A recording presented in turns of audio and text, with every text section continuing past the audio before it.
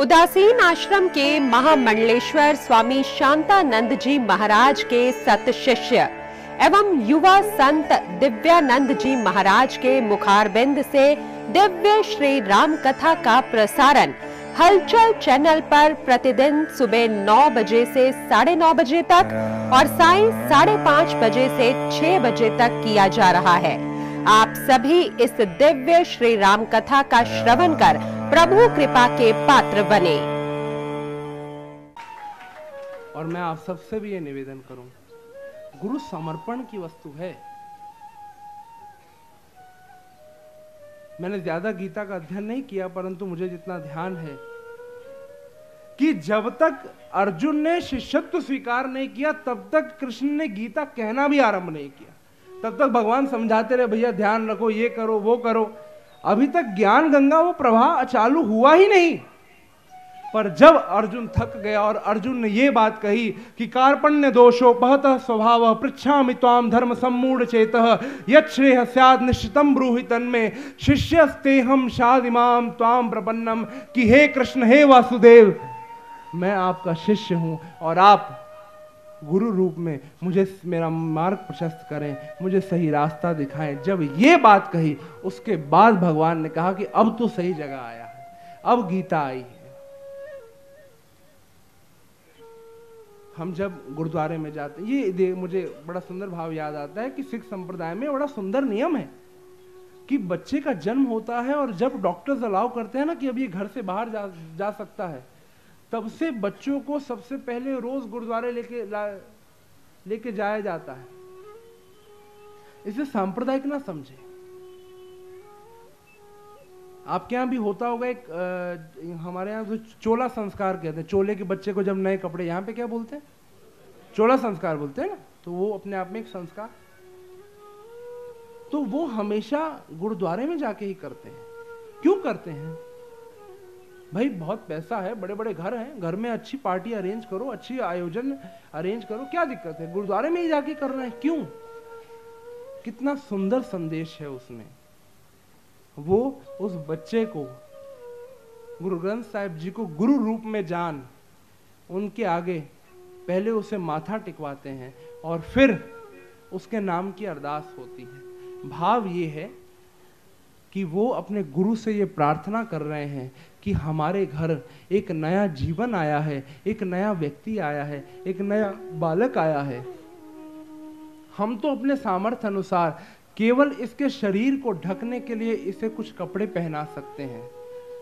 हमारे जो कपड़े हैं, वो इसके शरीर को ढकेंगे, पर आप इसे धर्म का चोला पहनाइए। आप में से जो मात्रा वाणी का पाठ करते होंगे, उसमें आता भी है, धर्म का चोला सत्य की शैली भाव ये है कि गुरु व्यक्ति को धर्म का चोला पहनाता है। और मैं पुनः निवेदन करूँ, आगे फिर अवसर आएगा, पर मैं बार बार याद दिलाता रहूँगा कि धर्म और संप्रदाय में ज़मीन आसमान का अंतर होता है। धर्म को और संप्रदाय को कभी आपस में मिक्स मत कीजिएगा। जब मैं धर्म शब्द का प्रयोग करता हूँ तो मैं किसी और चीज़ की बात कर रहा हूँ। आपके हिंदू, मुसलमान, सिख, ईसाई होने की बात नहीं कर रहा। गुरु व्यक्ति को धर्म का चोला पहनाता है, आवश्यकता है तो केवल और केवल समर्पण की। हम माथा टेकते हैं, समर्पण प्रकट करने के लिए हमारे पास क्या मार्ग है? माथा टेकते हैं भाई। तो माथा ऐसे ही नहीं टेक लिया जाता, उसकी प्रक्रिया बनी है। सबसे पहला काम हम क्या करते हैं? भैया, अभी आपको पोथी को मत्था टेकना यहाँ खड़े हो, क्या करोगे? सिर नहीं ढकोगे। ये कुछ जगह है, कुछ जगह, दक्षिण भारत में आप जाइए, वहाँ पे सिर छोड़िए। वहाँ पे तो स्त्रियाँ बस साड़ी में जाती हैं और जितने पुरुष हैं, उनके सारे वस्त्र उतार लिए जाते हैं सिर्फ़ धोती पहन के जाते हैं अंदर। तो ये मत्था टेकने का कोई, ये हम, हमारा भाव हो, अलग बात है, पर ये कोई इसका नियम नहीं है। ये हमें कुछ काम ज़रूर करने पड़ते हैं। सबसे पहला हम अपने घुटनों के बाहर बैठते हैं। ना तो करते हैं। उसका क्या भाव? एक मुहावरा भी है। घुटने टेक देना। हम क्या कहते हैं? भाई, महाराणा ने अकबर से हार गया वो व्यक्ति। उसकी सेना द्वारा मर गया वो। घायल हो गया। परंतु जीवन में कभी अकबर के सामने घुटने नहीं टेके महाराणा ने। मतलब समर्पण नहीं किया, हार नहीं मानी। तो गुरु के पास जाके सबसे पहले माथा टेकते अरे मारा हम तो पहले हार मानते हैं। हमारा जितना विवेक बुद्धि, हमने जितना ज़ोर लगाना था, वो अलग है। पहले तो हमने आपके आगे आके हार मान ली, आपके आगे हमारा कोई बस नहीं। उसके बाद मस्तक ज़मीन पे रखते हैं। बहुत बड़ी चीज़ है साहब। सिर को किसी के पाँव में रखना।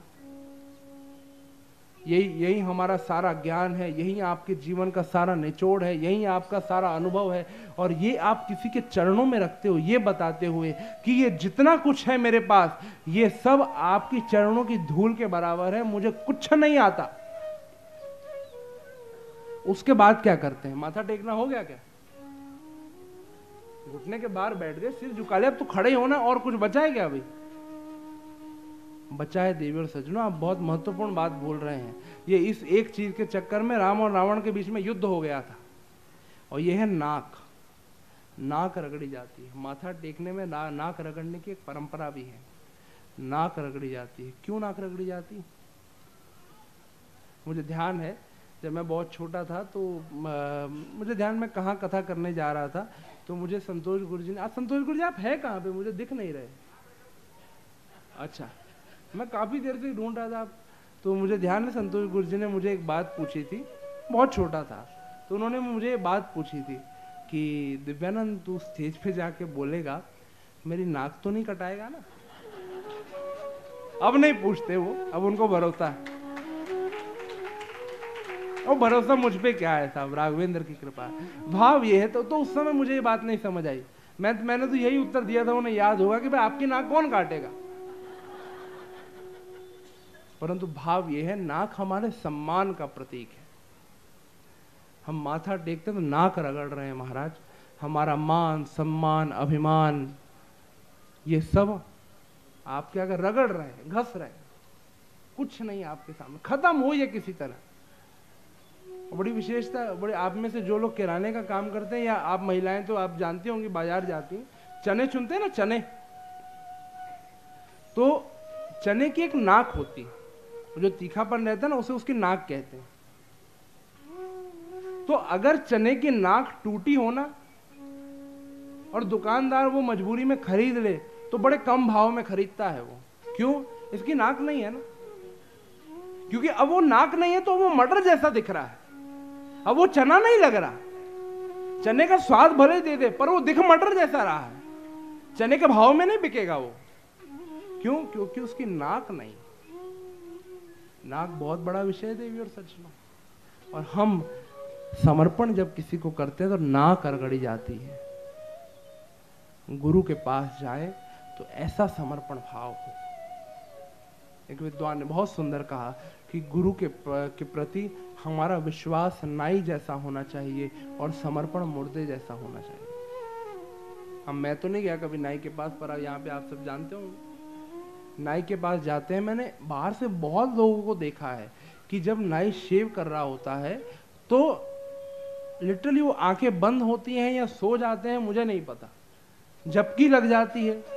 मेरे मन में विचार आता है कि जो उसका जो उस्तरा है, वो उसके, उनकी श्वास नली के इतने पास चल रहा है कि अगर गलती से उसका हाथ फिसल गया तो गोविंदा नमो नमा। काम डल जाए किसी का। परंतु हमें उस पर इतना भरोसा है कि वो संभाल लेगा। गुरु के प्रति भरोसा नाई जैसा होना चाहिए। जैसा नाई पे, नाई के पास जाके कैसा निश्चिंत होकर सोते हो? और समर्पण मुर्दे जैसा होना चाहिए। आप में से जो लोग तैरना जानते हैं, वे इस बात को समझते होंगे, जब तैराक जब तैरता है ना तो जब पानी में नदी में छलांग लगाता है तो नदी की जो लहरें हैं वो उससे बार बार बार बार अपने आगोश में लेने का प्रयास करती हैं कि किसी तरह वो कोई गलती करे और हम उसे अपने आगोश में फिर वो ऊपर ना आ पाए, डूब जाए, खत्म हो जाए। परंतु वैसे तो ये करना भी नहीं चाहिए, भारत में बहुत कम भी हो गया है, पर बहुत देर तक रहा भी है। अभी भी शायद कहीं गाँव वगैरह में ये मनाया जाता होगा कि मुर्दे को आज भी हम पानी में डाल देते हैं। कई जगह आज भी होगा, अब तो बहुत कम हो गया ये। पर पहले बहुत प्रथा थी। ऐसा कभी करिएगा भी मत और कोई मिल कोई करे तो उसको समझाइएगा। नहीं करना चाहिए। पर एक विशेष बात यह है कि जब मुर्दे को पानी में डाला जाता है, तब उसे ऐसा नहीं कि बस मुर्दा उठा और पानी में डाल दिया। उसके साथ कोई ना कोई भारी वस्तु बाँध के उसको डालना पड़ता है। क्यों? क्योंकि अब तो कायदे से वो पानी की लहरों को समर्पित हो चुका है। अब वो खुद कोई प्रयास नहीं कर रहा है। अब तो जैसे पानी की लहरें चाहे, उसका व्यवहार वैसा ही होगा। और यही विशेषता है कि कल तक वही तैराक, जब पानी में छलांग मारता है तो वही पानी की लहरें उसे अपने आगोश में लेने का प्रयास करती हैं। परंतु आज जब यही व्यक्ति, आज मुर्दे का स्वरूप धारण कर लिया है इसने तो पानी में गया है। तो इसे एक भारी वस्तु से बांधना पड़ रहा है। क्यों? क्योंकि आज समर्पित है, आज तैयार है पानी की लहरों के साथ चलने के लिए। और आज जब व्यक्ति तैयार हो जाता है, तब वही पानी की लहरें जो कल तक उसे डुबाना चाहती थी, फिर उसे अपनी गोद में खिलाती है। ठीक यही कृपा गुरु की होती है। आप अपना ज़्यादा दिमाग लगाएँगे, आप खुद ही में, मेरा यही प्रश्न कि आप खुद ही गुरु, लोग कहते हैं, गुरु नहीं मिला, सच्चा गुरु नहीं मिला। मैं कहता हूँ, श्रद्धा सच्ची रखो। भाव तो सच्चा हो, ऐसे तो भाव बदलता है हमारा। कहीं भाई, भैया वहाँ जाते थे, वहाँ आश्रम में जाते थे, वो महात्मा जी के पास जाते थे, क्या हो गए वहाँ कुछ बात नहीं बनी, वहाँ कोई मज़ा नहीं, अरे मज़े के लिए जा रहे हो वहाँ किस काम के लिए जा रहे हो? क्या भाव है आपका? क्या श्रद्धा है? जब गोस्वामी जी ने भगवान शंकर और देवी पार्वती की वंदना की तो ये लिखा कि भवानी शंकर वंदे श्रद्धा विश्वास रूपिणो। याभ्याम बिना न पश्चंती सिद्धा स्वांता समेश्वरम। भाव, मैं श्रद्धा रूपी पार्वती जी और विश्वास रूपी महादेव की वंदना करता हूँ। एक भाव यह है कि श्रद्धा से व्यक्ति विश्वास की ओर बढ़ता है। दूसरा भाव यह है कि पहले जन्म में सती चूक कर बैठी थी, इसलिए वो अभी श्रद्धावान है। पर महादेव ने कभी ये चूक नहीं की। भाव जब हमारी, ये जो श्रद्धा नाम की चीज़ है ना, ये घटती बढ़ती रहती है। अपना काम हो गया तो बढ़ गई, नहीं हुआ तो कम हो गई। श्रद्धा घटती बढ़ती रहती है, विश्वास अटल रहता है। और मुझे पूज्य ब्रह्मलीन अतुल कृष्ण गोस्वामी जी महाराज का एक वचन याद आता है। उन्होंने बहुत सुंदर दृष्टांत दिया था कि जब पति और पत्नी जो सदग्रहस्थ हैं, अच्छे विचार वाले हैं जब एक कमरे में बैठे हों, पति अपनी पत्नी के पास बैठा है। पत्नी ने चुन्नी लेके रखी है और थोड़ी सी हवा चली और उसके कंधे से उसकी चुन्नी सरक गई। पत्नी कभी संकोच नहीं करती। क्यों? वे जानती है, ये मेरा स्वामी है, ये मेरा भरतार है। मैं इसको समर्पित हूँ, ये मेरा है। इससे कैसी शर्म? तो वो बहुत सुंदर एक बात कहते थे कि जिस तरह वो स्त्री के, अगर चुन्नी के सरक जाने पे भी वो पति के सामने संकोच नहीं करती, उसे अपना भरतार मान के तो जब एक शिष्य गुरु के सामने जाता है, तब उसे किस बात का संकोच होता है? अपनी क्या असलियत छुपाना चाहते हैं हम? मैं कई बार देखता हूँ व्यक्ति हम किसी कहीं फ़ोन पे अलग बात कर रहे होती, इतनी देर में पीछे से कोई आगे कहता है, महाराज जी आए, महाराज जी आए। जो महाराज जी आते, अरे महाराज जी प्रणाम, महाराज जी प्रणाम। ऐसे सरल, ऐसे सहज, ऐसे मुस्कान आ जाती है हमारे चेहरे के ऊपर, जैसे हमसे ज़्यादा प्रसन्न संसार में कोई नहीं। और दस मिनट पहले क्या हो रहा था? आप किसको मूर्ख बना रहे हैं? अपने गुरु को?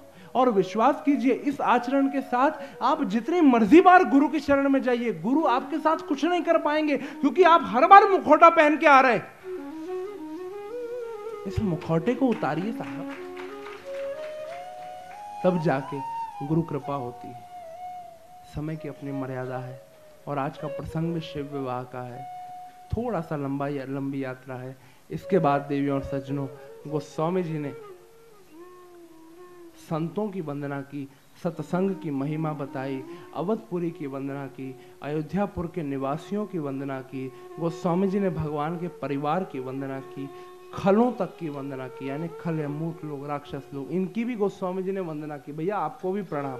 किसी ने पूछा मतलब संतों की कर रहे हो, समझ आता है। खलों की कर रहे हो, ये कोई बात हुई? इनकी करने की क्या आवश्यकता है? परंतु, मेरे मन में बड़ा सुंदर भाव आता है कि आज जब वो व्यक्ति अपने गुरु के प्रति पूर्ण रूप से समर्पित हो गया, गुरबाणी में बहुत सुंदर पंक्ति आई कि ज्ञान अंजन गुरु दिया, अज्ञान अंधेर विनाश भाव। कि गुरु ज्ञान रूपी काजल देता है आँख पे लगाने के लिए। फिर उसका प्रभाव क्या है? सी राम में सब जग जाने। करो प्रणाम ज़ोर ज़ोर। अब जब सभी सीता राम हो गए, अगजग रूप भूप सीतावर हो गया तो फिर खल अलग रहे कहाँ? फिर तो ये भी संत समान है। तो गोस्वामी जी ने सबकी वंदना की।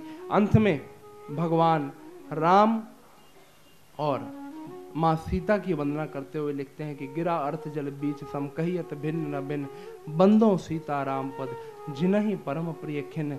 जैसे समुद्र की लहरें और समुद्र दिखने में या कहने में अलग अलग होते हैं, परंतु अलग हैं नहीं, ठीक उसी प्रकार राम और सीता कहने में अलग अलग हैं, साहब। ये है नहीं। इसकी व्याख्या मैं अलग से किसी दिन करूँगा। परंतु आज मैं आप सबसे एक निवेदन करता हूँ कि नौ दिन के लिए आप सब एक संकल्प ले लें। हम क्या जय घोष लगाते हैं? जय श्री राम कहते हैं ना? जय श्री राम कहना छोड़ दीजिए। मुझे कहने दीजिए, ये हमारे समाज की वास्तविकता है कि जय श्री राम में कहीं ना कहीं आज सांप्रदायिकता की बदबू आती कहने दीजिए साहब। जय श्री राम मत कहा करो। मुझे दुख होता है जब कोई जय श्री राम कहता क्या कहना चाहिए? जय सिया राम। हमारी भारतीय परंपरा में कभी भी एक दूसरे को संबोधन में जय श्री राम कहा ही नहीं गया। जय सिया राम। लोगों ने राम के बारे में बहुत कहा, परंतु मैं निश्चित रूप से नौवे दिन इस बात पे विचार करूँगा कि कायदे से तो राम को राम बनाने में जितना योगदान देवी सीता का है, वो किसी और का नहीं है। लोग कहते हैं स्त्री की पूर्णता उसके पति से होती है, परंतु मैं ये कहता हूँ कि राम की पूर्णता सीता से है, कृष्ण की पूर्णता राधा से है। इसलिए हो सके तो जय सिया राम कह कहिए। और सीता, देखिए, सीता का आपको खुद को जय श्री राम में एक आक्रोश नज़र नहीं आता। और जब जय सिया राम कहते हैं, इसमें प्रेम भाव, क्यों इसमें माँ की बात है ना? इसमें माँ भी आ गई। जय सिया राम कहा करो? कहोगे ना? कम से कम नौ दिन तो ध्यान रखो। हाँ चलो एक बार मुझे ही बोल दो। जय सिया राम बड़े अच्छे से सुन रहे हैं साहब आप सब पुनः बधाई के पात्र हैं। एक बार अपने लिए दोबारा ताली बजा लीजिए मेरे लिए तो बजाएँगे नहीं आप। देवी और सज्जनों, इसके बाद गोस्वामी जी ने नाम महिमा लिखी। नाम महिमा के लिए जितना कहा जाए, उतना कम है। मैं अक्सर ये बात कहता हूँ, आज के युवान एक बात कहते हैं कि भाई, जीवन में अच्छे काम करो, ये क्या नाम वगैरह जपना, इससे क्या होता है? परंतु मेरे मन में एक बात आती है कि व्यक्ति जब गलती करता है ना तो गलती करने का उसे अभिमान नहीं होता। पर व्यक्ति जब जीवन में अच्छे काम करना शुरू दे, कर देता है तो उसे सबसे ज़्यादा अच्छे काम करने का अभिमान होता है। क्यों? अरे भैया, वो वहाँ गया था। उन्होंने कहा कि थोड़ा धर्मशाला में काम करवाना है, एक लाख का चेक दे दिया मैं और सारी बातें हाँ हाँ करते हुए आखिर में क्या अरे सब कराने वाले तो ईश्वर है, अपन कौन होते हैं? कायदे से व्यक्ति को अच्छे काम का जितना जल्दी अभिमान होता है, गलती या बुरे काम का कहाँ होता है? और तब जाके नाम सुमिरन का महत्व तो समझ आता है। नाम सुमिरन के लिए तो मानस में बहुत कहा गया महिमा, जास, जान गणराव प्रथम पूजियत, नाम, प्रभाव। ध्रुव, सगलान जपयो हरिनाव, पायो, अचल, अनुपम, ठाव। अपत, जामिल, गज गनिकाओ भयो, मुक्त, हरि, नाम, प्रभाव। सुमिर, पवन, सत, पावन, नामू। अपने बस कर राखे रामू। जितना कहा जाए, और मुझे तो सबसे अच्छी बात तो गोस्वामी जी की लगती है, जो कहते हैं कि, मंगल कर निकली मल हरणी तुलसी कथा रघुनाथ की। गतिकूर कविता सरित की, जो सरित पावन पाथ की। प्रभु सुजस संगति भनति भल हो, यह सुजन मन भावनी। भव अंग भूत मसान की, सुमिरत सुहावनी पावनी। उन्होंने बहुत सुंदर बात कही कि जो मेरी लेखनी है ना, ये जैसे किसी नदी की टेढ़ी मेढ़ी चाल होती है मेरी लेखनी ठीक उस टेढ़ी मेढ़ी चाल की तरह है। कभी कुछ लिख रहा हूँ, कभी कुछ लिख रहा हूँ, मुझे भी नहीं पता। परंतु फिर भी लोग इसका इतना सम्मान क्यों करते हैं? देवी और सज्जनों, जब हमारे एक प्रथा हम शमशान घाट से आते हैं ना तो स्नान करते हैं आके। और मैं आपको बताऊँ, आज भी देहात में जाओगे, बहुत जगह ये आज भी ये नियम है। कोई शमशान से आए तो उसे स्नान भी घर के बाहर करना है। घर में भी प्रवेश कई लोग नहीं करने देते। क्यों? हम ऐसा समझते हैं कि जिस भस्म के सानिध्य में अभी हम रह के आए हैं, जिस वातावरण में रह के आए हैं, वो अपवित्र है। वो कहीं ना कहीं हमें दूषित कर रही है। वरना स्नान क्यों कर रहे हो आप? जो मुर्दे की भस्म होती है, कभी उसको बहुत श्रद्धा भाव से देखा है आपने? भाई, जिसके रिश्तेदार है, उनको लगा, बाकी क्या है? परंतु, उसी मुर्दे की ताजी भस्म, जब उज्जैन में भस्म आरती के समय भगवान महाकाल के ऊपर चढ़ाई जाती है, फिर उसी भस्म को हम भगवान के शिवलिंग से लेके अपने माथे से लगाते हैं, अपने कंठ से लगाते हैं, अपने मस्तक से लगाते हैं। क्यों? क्योंकि अब इसमें महाकाल जुड़ गए हैं, अब इसमें महादेव का अंश जुड़ गया है। और ठीक इसी तरह गोस्वामी जी कहते हैं, हमारे यहाँ आपके ही नागपुर के आप सब बड़े भाग्यशाली हैं। आपके नागपुर के एक बड़े प्रसिद्ध लेखक हैं, भजन गायक। आप सब जानते हैं आतिश जी। आतिश जी आज यहाँ मौजूद नहीं है, परंतु मैं आप सबको उनकी याद दिलाऊं। गुरु जी एक बहुत सुंदर भजन गाते हैं कि राधा और कान्हा की है प्रीत अति सुंदर। मुझे याद है, उसका आखिरी अंतरा बड़ा कमाल का है, जिसमें आतिश जी ने लिखा है कि वैसे तो आतिश को कुछ आता नहीं, फिर भी। वैसे तो आतिश को कुछ आता नहीं, फिर भी। कोई शब्द सुमन सुंदर मैं लिखता नहीं, फिर भी। तेरे नाम से लगता है, हर गीत अति सुंदर। और बाबा ने भी यही कहा कि मेरी लेखनी ठीक उस नदी की टेढ़ी मेढ़ी चाल की तरह है, परंतु इसमें राम का नाम है, इसलिए मंगल कर निकले मलहरनी तुलसी कथा रघुनाथ की। ये नाम का प्रभाव है। हमारे राष्ट्र कवि ने राष्ट्र कवि स्वर्गीय श्री मैथिली शरण गुप्त जी ने जब साकेत लिखा तो साकेत के आरंभ में इस बात को लिखा कि राम तुम्हारा व्रत स्वयं ही काव्य है। व्रत यानी चरित्र। राम तुम्हारा व्रत स्वयं ही काव्य है। कोई कवि बन जाए, सहज संभाव्य है। जो तुम्हारे बारे में लिखेगा राम, वो अपने आप कवि हो जाएगा। उसे कोई पढ़ाई करने की ज़रूरत नहीं है। तुम्हारा चरित्र ऐसा है। गोस्वामी जी कवि है नहीं, राम के बारे में लिख रहे हैं, इसलिए कवि हो गए हो। मैं भी उन्हीं की कथा कर रहा हूँ, इसलिए मुझे शेर याद आता है कि पहले तुम्हारे नाम का सदका निकाल कर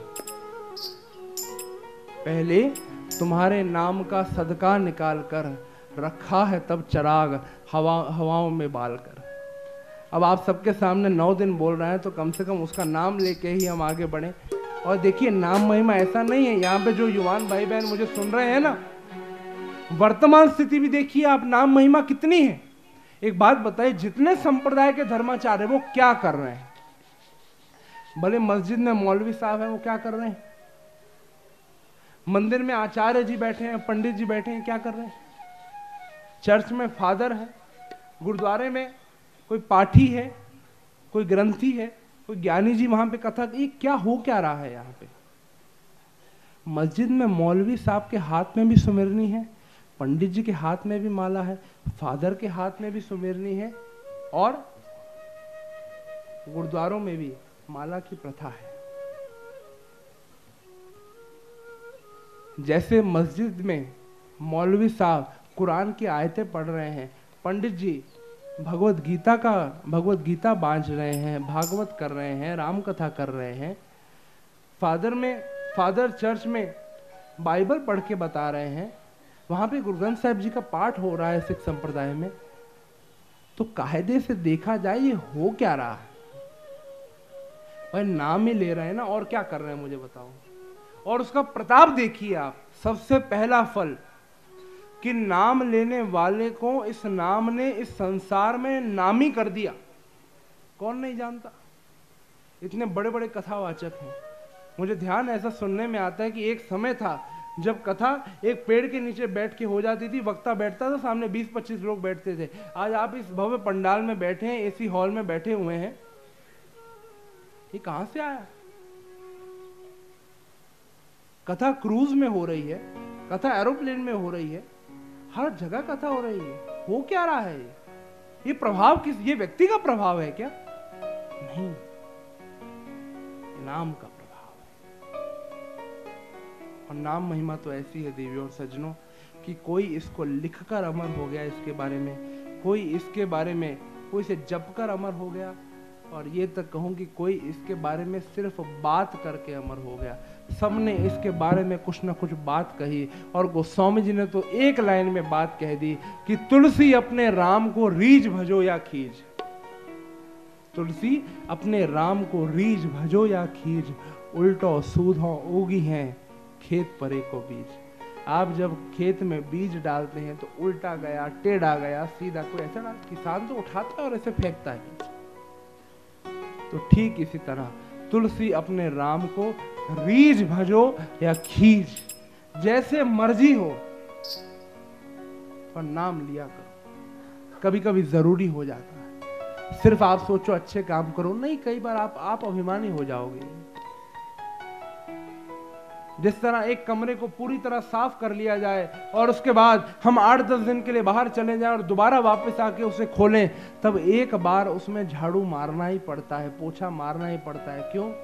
मिट्टी आ ही जाती है। ठीक उसी तरह हम कितनी सफ़ाई कर लें।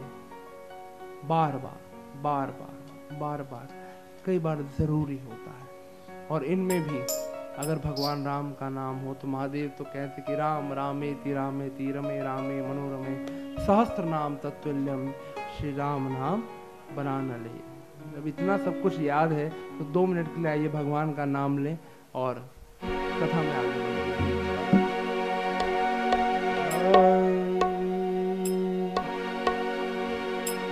राम नाम दो प्यारे बोल, राम नाम सबसे अनमोल। राम नाम दो प्यारे बोल राम नाम सबसे अनमोल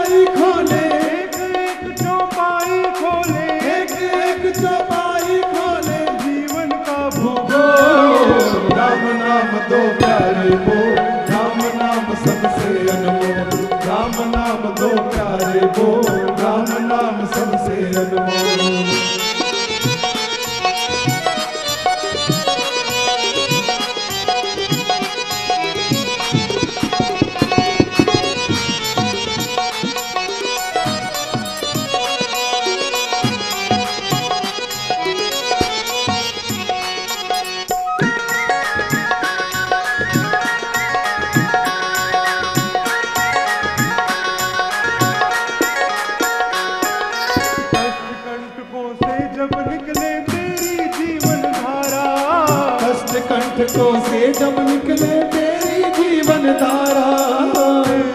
जीवन धारा का मिलता नहीं सहारा। तेरी इस जीवन धारा का मिलता नहीं सहारा। कष्ट कंटकों से जब निकले तेरी जीवन धारा। तेरी इस जीवन धारा का मिलता नहीं सहारा।